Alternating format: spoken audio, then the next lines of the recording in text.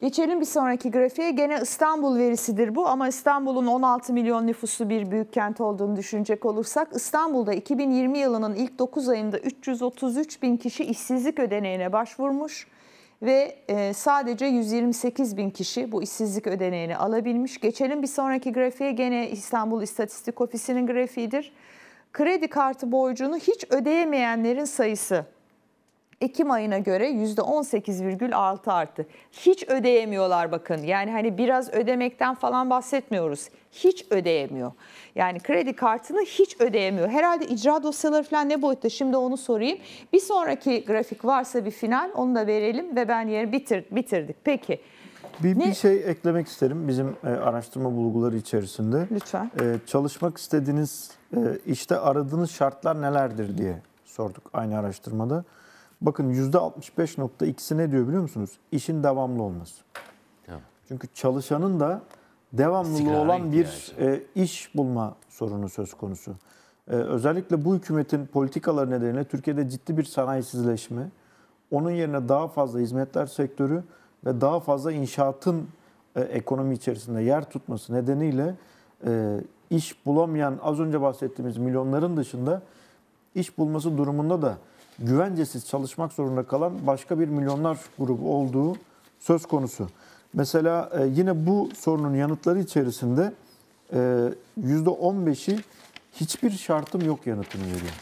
Bakın %15'i hiçbir şartım yok diyor. E, ama sen genişletilmiş işsizlik tanımını aldığınız zaman yaklaşık 1,5 milyonluk çünkü bir grup şey yok. işsiz ne grup, iş olsa yaparım diyor. Hiçbir şartım yok diyor. E, Bakın e, çaresizlik mesela, evet. grafiğini verdin ha. işte. O kadar çaresiz insanlar. Kredi kartını ödeyemiyor. işsizlik sigortasından faydalanamıyor. Evet. Sosyal yardım alıyor yine de geçinemiyor. Kendi temel ihtiyaçlarını bakmakla yükümlü olduğu insanların ihtiyaçlarını karşılayamıyor. Burada istatistikler var.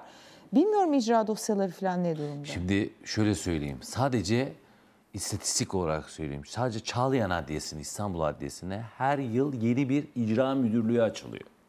Her yıl. Neden?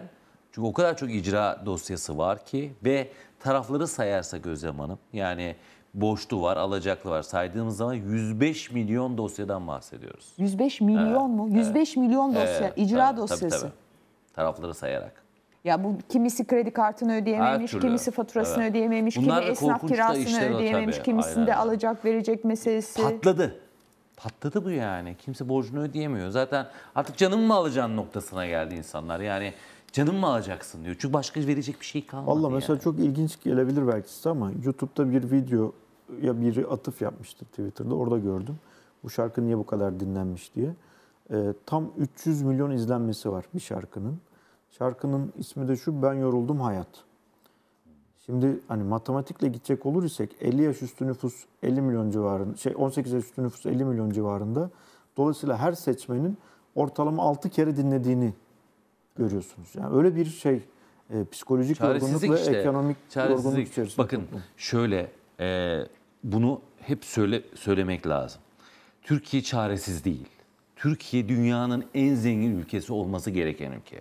Bugün bizden 70 kat aşağı güneş alan Almanya bizden binlerce kez fazla watt işte fazla elektrik enerjisini güneş enerjisinden sağlıyor. Toprağı olmayan Hollanda bizim Toprağı kaç katımız tarım bizim kaç kat, 90 milyar dolar ihracatı var Hollanda'nın. Bu çaresiz değiliz. Sadece kendimizi gerçekten yerli ve milli olan gerçekten bu ülkede kalkınmak isteyen, vatandaşlarını ayırt etmeyen, Atatürk'ün dediği milliyetçilik ülkesine sahip, Kürdüyle, Türküyle, diniyle hangi bir ayırt etmeden bu ülkenin herkese hizmet etmek isteyen, burada az evvel oturan, ben bu onda o hissiyatı gördüm, Meral Akşener gibi insanlara ihtiyacı var. Ben kadın konuşunca burada açıkçası ben bir umut geldi bana ya bir şey söylüyor yani. Diyor ki ben bunların dışına çıkacağım diyor. Anlatıyor. Bize böyle liderler lazım. Bize şunu anlatan liderler Çünkü lazım. Türkiye sağda aşırı sağ nedir bununla yüzleşmiş Artık oldu. halk yani halk şununla yüzleşmeli yani, üstadım. Yani kendisini yönetecek insanların artık doğru yöntemlerle hissiyatları kuvvetli. Böyle seçmek zorunda. Çünkü bakın bir maden kanunu yapmışlar. Bunların hepsini sağ ihtarlarla yazıyor. Hepsinin yakasında elim. Bir maden kanunu var. Bu maden kanunu imzalayan milletvekilleri hepsinin e, ya- ellerinde e, elim yakalarında diyor ki bir yabancı şirket Türkiye'ye gelince diyor bu kanun kanun Ertan Bey kanun. %99'un diyor ilgili yabancı şirket alır. %1'i Türklere kalır diyor. Ve bunu biz imzalamışız. Doğalgaz bulduk ya. Doğalgazın bizim e, petrol sözleşmemize göre, kanunumuza göre, maden kanunumuza göre, bu e, petrol kanunu ve doğalgaz kanunumuza göre sadece %14'ü senin. Gerisi çıkaranın. Bunlara imza hangi milletvekilleri atıyor ya? Beni buna nasıl muhtaç ediyorlar? Ve biz Belçika kadar bir tarım alanını terk etmişiz. Belçika büyüklüğünde. Bir alanı kaybetmişiz. Ekim yapmıyoruz. Ekmekten vazgeçmişiz. Ve yıllarla 80'den itibaren İstanbul'un nüfusu 1,5 milyondu 1980'de. Bugün 16 milyondan bahsediyoruz. Kaç kat artmış. İnsanları oradan aldık. Bugün de İstanbul'da açlığa mahkum ettik. Hepsini getirdik buraya. O tarihten itibaren getirdik ve açlığa mahkum ettik. Çünkü üretmedik. Üretmeyen bakın ya çıldıracak gibi oluyorum. Bir ülke kendi şeker fabrikalarını nasıl satar da yabancılar tarafından üretilen nişasta şurubunu bu halka e, uygun görür. Ve vicdanı nasıl sızlamaz? Üstelik bu şeker Ya fabrikaları... bun- bunlar benim ülkemin Şöyle, milletvekilleri, bu- politikacıları. Bu, bu, bu şeker fabrikaları ülkenin ekonomi tarihine baktığınızda çok büyük de roller İstihdam üstlenmiştir. sağlıyordu. İstihdam sağlanmıştır. E, geliri olmayan bölgelere gelir adaletine katkı vermiştir. Milyonlarca çiftçi bu ülkede çocuğunu bu e, fabrikalara verdiği ürünlerle okutmuştur. E, ailesini e, kentte veya işte evlatlarını kentte bunlar sayesinde orada tutunmalarını sağlamışlardır.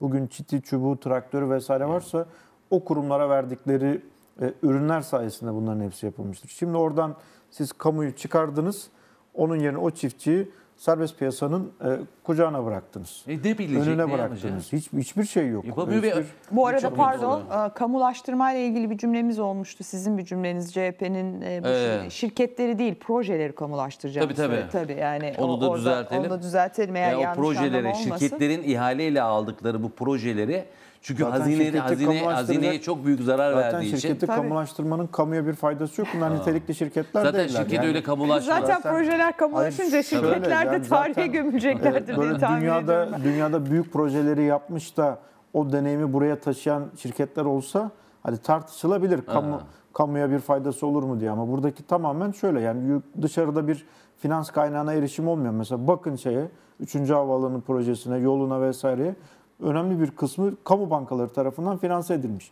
Yurt dışında kredi itibarı bile doğru düzgün bulunmayan şirketlerden bahsediyoruz.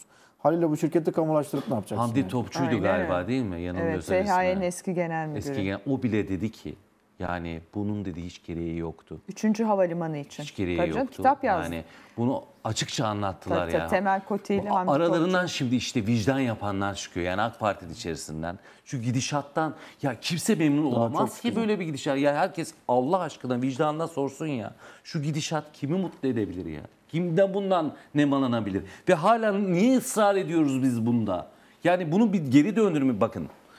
Bu, bu Türkiye Cumhuriyeti, demin Atatürk aydınlanması dedik. Türkiye Cumhuriyeti kuruldu. Kurulurken Atatürk dedi ki üreteceğiz. Yabancı ihtiyacımız olur. O fakir devlet, yüzde üç okuması olan, hemşiresi dört tane olan, yüzden fazla doktoru olmayan o 13 milyonluk devlet fabrikalarını kurdu.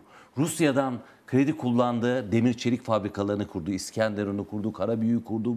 Ee, bir sürü şeker fabrika, dokuma fabrikaları kurdu. Manisa'sından tut. Köy enstitülerini Aklı var gelemeyecek köy enstitülerini kurdu, kurdu, kurdu, kurdu. Bugünün hesabıyla Mahfi İlmez'in sözüyle söylüyorum bunu. Ben, ben de işte o ekonomide anlamıyorum ama en azından okuyoruz. 500 milyar dolar büyüklüğündeki Osmanlı'dan kalan Lozan'da üstlendiğimiz borcu 1954'e kadar ödedi. Ve 1 dolar 1.8 TL oldu. O civarda ve 1929 buhranı vardı. Ve biz 1945 yılında bakın bunlar çok önemli. 1945 yılında Queen isimli bir e, gemiyle Roosevelt Ka- Kahire'ye geliyor. Ve Abdülaziz'i yani Suud kralını e, şeye çağırıyor Kahire'ye geliyor. Suud kralı diyor ki biz diyor koruman karşılığında tüm petrolü sana veriyoruz ve boyun eğiyoruz. Artık dünyanın lideri sensin diyor. Aynı şey 1946'da Türkiye'ye geliyor. Aynı yapı. Diyor ki artık dünyanın patronu benim. İşte Marshall yardımlarıyla falan başlıyor. Ve ardından Türkiye'deki çöküşlerin başladığını görüyoruz. Biz bu e, yani kuruluş değerlerinden uzaklaştığımız her gün çökmeye gittik. Ve en sonunda 1980 bununla ilgili başka bir şey oldu. Eğer 15 Temmuz başarılı olsaydı o Fethullah Gülen denen adam buraya e, İran Şümeyni gibi girecekti. Yazmış ya adam Mehdi gelecek diye gerekçeli karar Gerekçeli yazmış. Siz karar Mehdi anlattınız az önce yani Öyle. nerelerden döndük yani yani. nerelerden Buradaki- döndük. burada